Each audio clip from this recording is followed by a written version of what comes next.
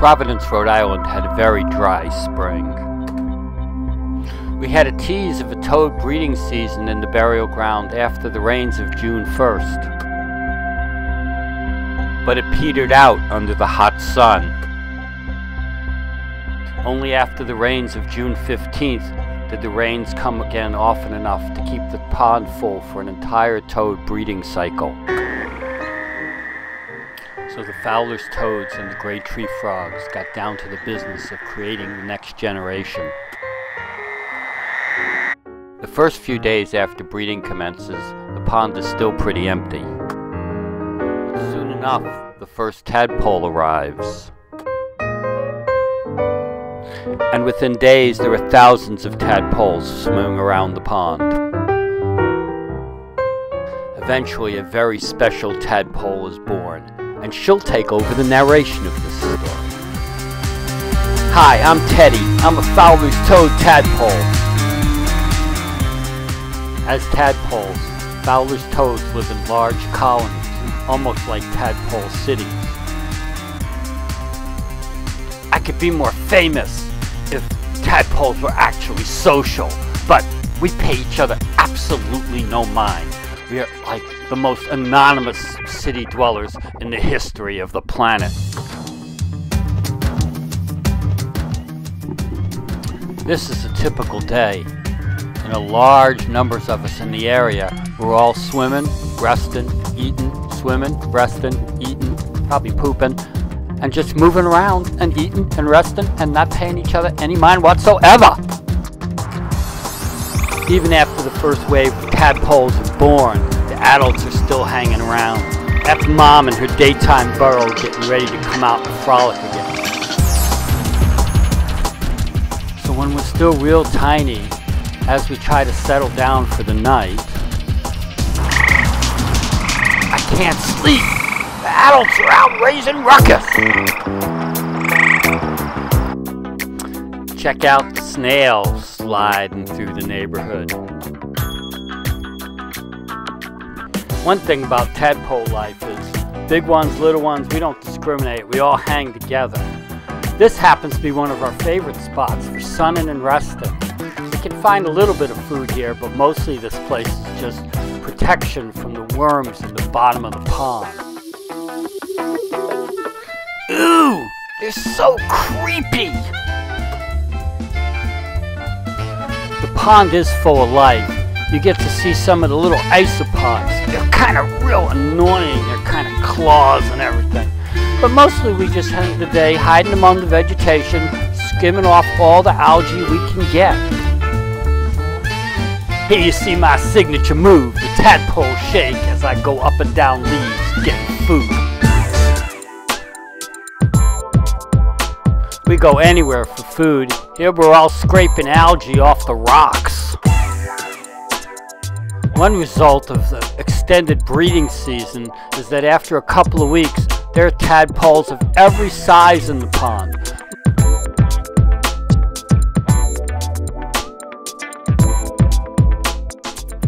And I really like that the little guys are just as likely to chase off the big guys as the big guys to chase off the little ones. We really like the shallow water right at the edge of the pond. Sometimes I wonder why something doesn't just come off and eat us. But you know, we're toads and we taste bad. Among the most amazing adventures in the course of the summer is the giant who comes and catches us. He gets this net, he scoops us, and puts us in a little container with pond water. Then he sticks us next to this big giant eye. It's eyes like that are really scary. But then he just lets us go. This guy is from the last crop of babies. From here on in, it's just grow and grow and grow some legs. One day after it rained, the water came up really high and went out over the grass that normally is on the dry side of the pond. And we all just loved that place. We just swam and swam and swam and it seemed like a parade. Had another encounter with the giant. Days later, I'm about three quarters size.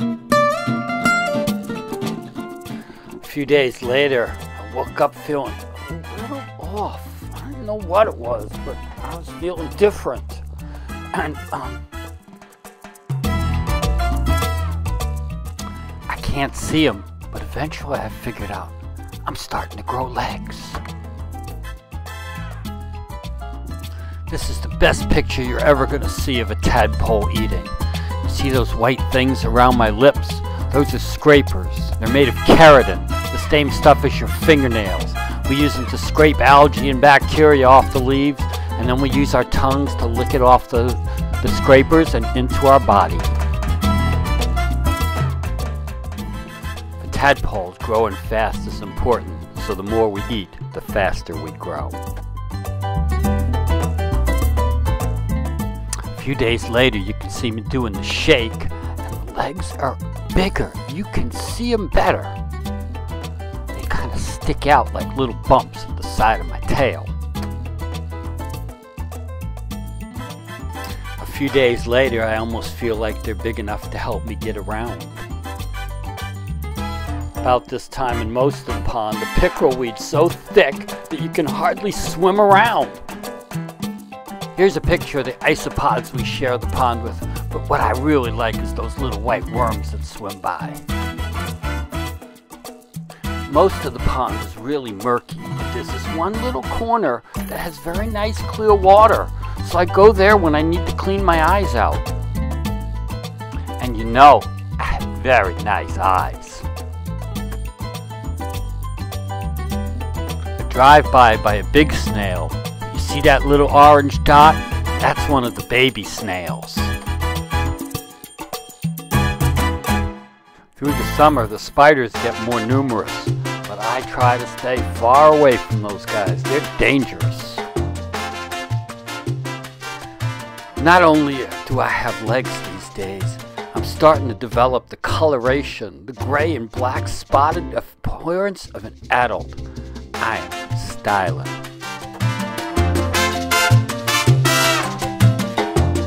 Any of the first guys now have four legs. They'll be leaving the pond in three or four days, but you can see there's lots of us still behind them.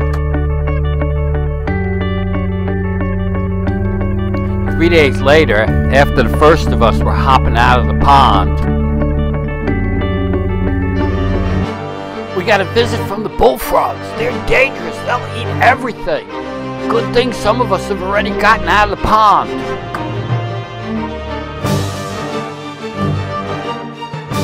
Our little pond ended up with about six or seven of them, but we seem to have managed to come through relatively okay. I guess they weren't that hungry this year. Popping out front legs right at the end takes so much energy and food all of a sudden you get real skinny. I do worry about the little ones with the bullfrogs still around. Late in the season, I caught sight of a gray tree frog tadpole, that red flag waving in the middle. For some reason, we only see a few of these every year. Like pigs at the trough, scraping that algae. In the center have achieved true toadlet coloration. Clear water, lots to eat, plenty of sunshine. This is the life. We follow this road up the hill that leads to the rest of the big wide world. I wish I could show you the blue body and the graceful swimming instead of just the tail of the tree frog. When the tail starts to shrink, it shrinks fast so you rarely see anybody with just the stump of a tail.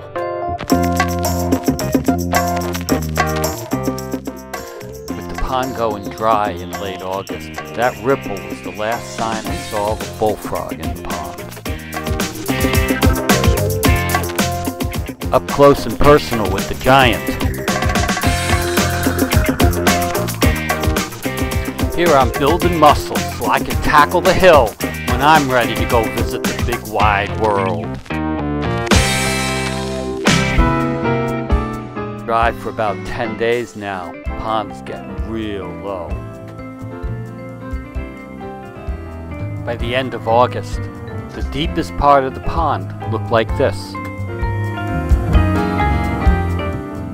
best thing about a dry pond at the end of August that it means all the bullfrogs leave. And so next spring when we get back together, we'll be much safer. Yeah, 2015 turned out to be a pretty good year for Fowler's toads in the North Burial Ground. Thousands and thousands of us turned into little toadlets and headed out to the big, wide world. Roll the credits, and I'll see you in the spring.